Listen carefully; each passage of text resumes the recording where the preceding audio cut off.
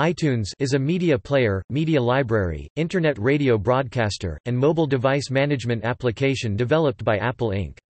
It was announced on January 9, 2001. It is used to play, download, and organize digital multimedia files, including music and video, on personal computers running the Mac OS and Windows operating systems. Content must be purchased through the iTunes Store, whereas iTunes is the software letting users manage their purchases. The original and main focus of iTunes is music, with a library offering organization, collection, and storage of users' music collections. It can be used to rip songs from CDs, as well as play content with the use of dynamic, smart playlists. Options for sound optimizations exist, as well as ways to wirelessly share the iTunes library. In 2005, Apple expanded on the core features with video support, later also adding podcasts, e-books, and a section for managing mobile apps for Apple's iOS operating system, the last of which it discontinued in 2017. The original iPhone smartphone required iTunes for activation and, until the release of iOS 5 in 2011, iTunes was required for installing software updates for the company's iOS devices.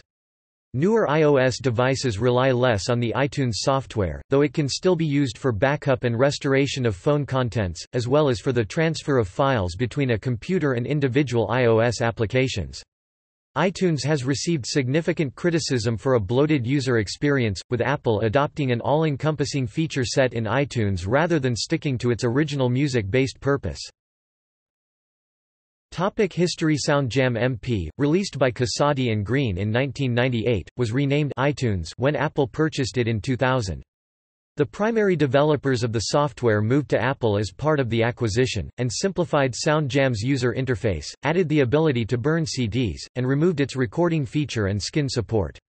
The first version of iTunes, promotionally dubbed World's Best and Easiest to Use Jukebox Software, was announced on January 9, 2001. Subsequent releases of iTunes often coincided with new hardware devices, and gradually included support for new features, including smart playlists, the iTunes Store, and new audio formats.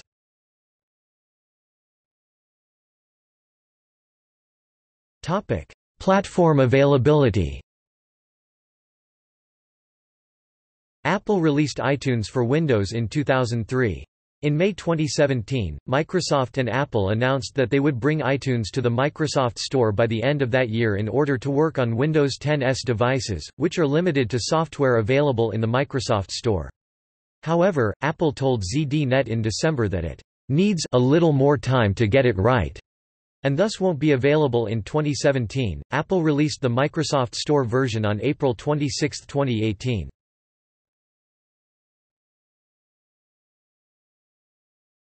Topic: Media management.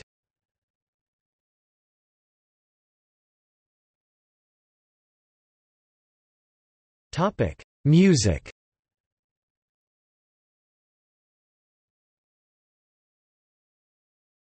Topic: Metadata and music importation. iTunes features a music library. Each track has attributes, called metadata, that can be edited by the user, including changing the name of the artist, album, and genre, year of release, artwork, among other additional settings.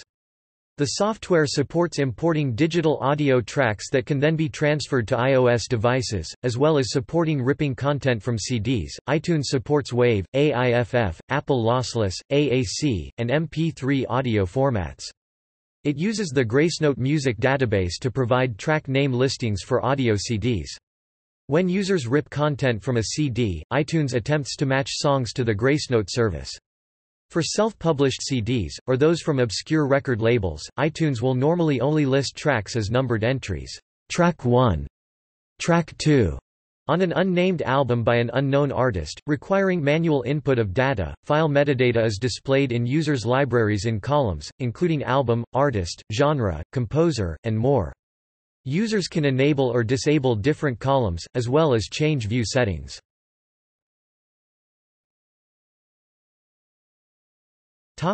Special playlists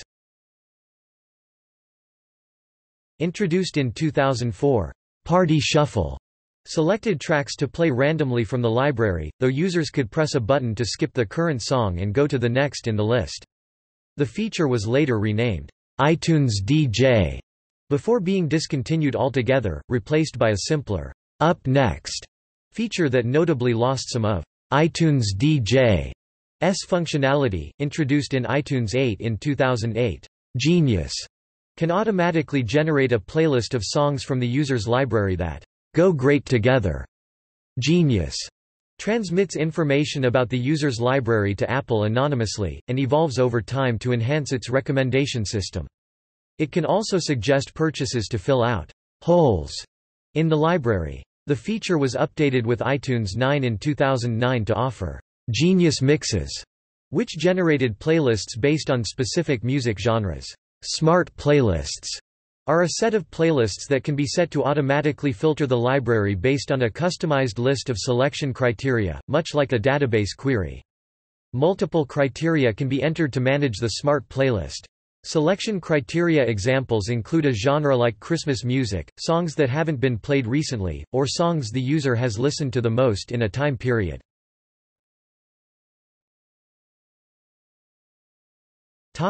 Library sharing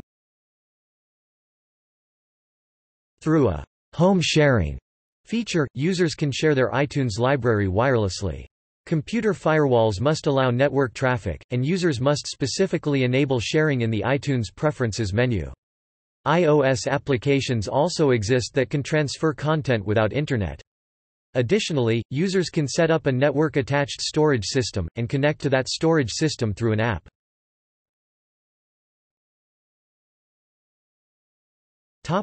Artwork printing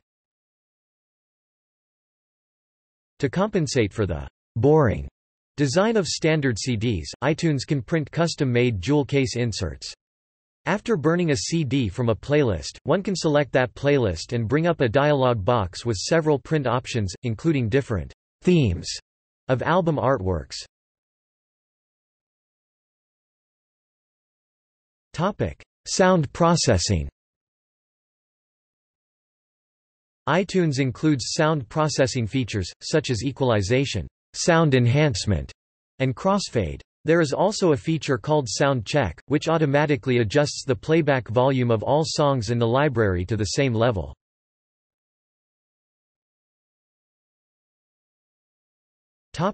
Video In May 2005, video support was introduced to iTunes with the release of iTunes 4.8, though it was limited to bonus features part of album purchases. The following October, Apple introduced iTunes 6, enabling support for purchasing and viewing video content purchased from the iTunes Store. At launch, the store offered popular shows from the ABC network, including Desperate Housewives and Lost, along with Disney Channel's series That's So Raven and The Sweet Life of Zack and Cody. Then CEO Steve Jobs told the press that, "...we're doing for video what we've done for music, we're making it easy and affordable to purchase and download, play on your computer, and take with you on your iPod." In 2008, Apple and select film studios introduced iTunes Digital Copy, a feature on select DVDs and Blu-ray discs allowing a digital copy in iTunes and associated media players.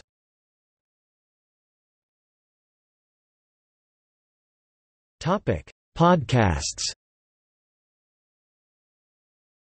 In June 2005, Apple updated iTunes with support for podcasts. Users can subscribe to podcasts, change update frequency, define how many episodes to download and how many to delete, similarly to songs. Smart playlists can be used to control podcasts in a playlist, setting criteria such as date and number of times listened to.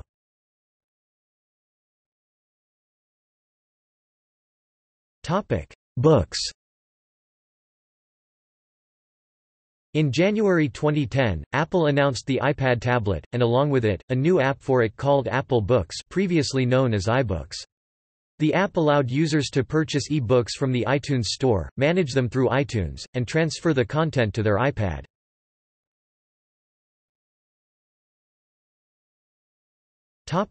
Apps On July 10, 2008, Apple introduced native mobile apps for its iOS operating system.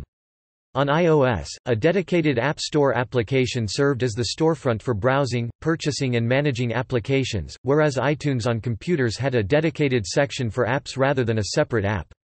In September 2017, Apple updated iTunes to version 12.7, removing the App Store section in the process. However, the following month, iTunes 12.6.3 was also released, retaining the App Store, with 9to5 Mac noting that the secondary release was positioned by Apple as necessary for some businesses performing internal app deployments.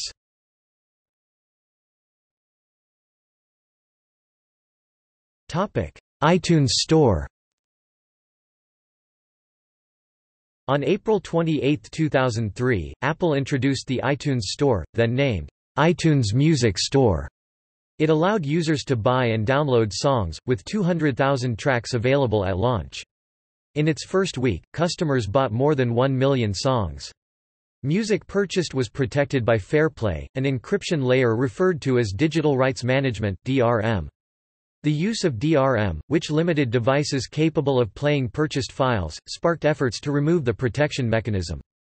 Eventually, after an open letter to the music industry by then CEO Steve Jobs in February 2007, Apple introduced a selection of DRM-free music in the iTunes Store in April 2007, followed by its entire music catalog without DRM in January 2009. In October 2005, Apple announced that movies and television shows would become available through its iTunes Store, employing the DRM protection.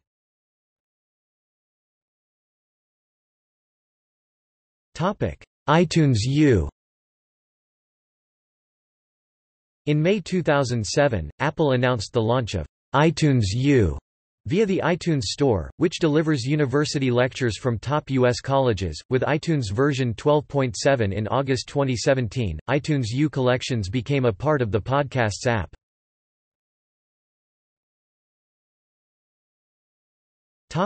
iTunes in the Cloud and iTunes Match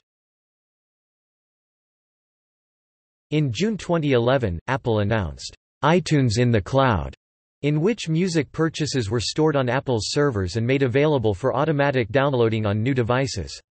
For music the user owns, such as content ripped from CDs, the company introduced iTunes Match, a feature that can upload content to Apple's servers, match it to its catalog, change the quality to 256 kilobits per second AAC format, and make it available to other devices.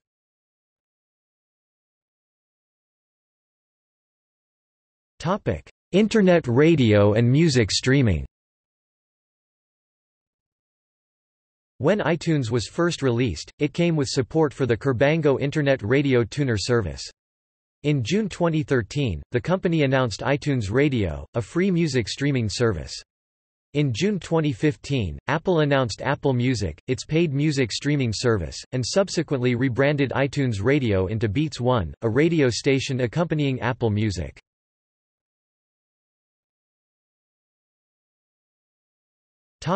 iPhone activation iTunes was used to activate early iPhone models.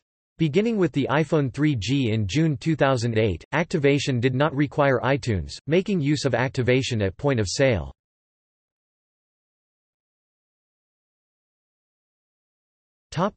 Ping With the release of iTunes 10 in September 2010, Apple announced iTunes Ping, which then CEO Steve Jobs described as social music discovery. It had features reminiscent of Facebook, including profiles and the ability to follow other users. Ping was discontinued in September 2012.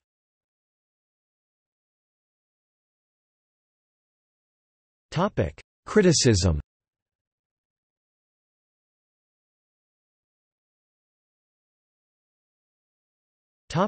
Security The Telegraph reported in November 2011 that Apple had been aware of a security vulnerability since 2008 that would let unauthorized third parties install updates to users' iTunes software. Apple fixed the issue prior to the Telegraph's report, and told the media that, "...the security and privacy of our users is extremely important."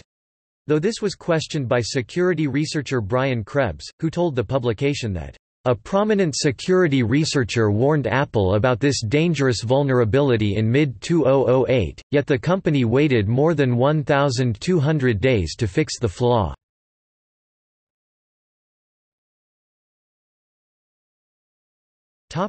Software bloat iTunes has been repeatedly accused of being bloated as part of Apple's efforts to turn it from a program that plays music to an all-encompassing multimedia platform. Former PC World editor Ed Bott accused the company of hypocrisy in its advertising attacks on Windows for similar practices.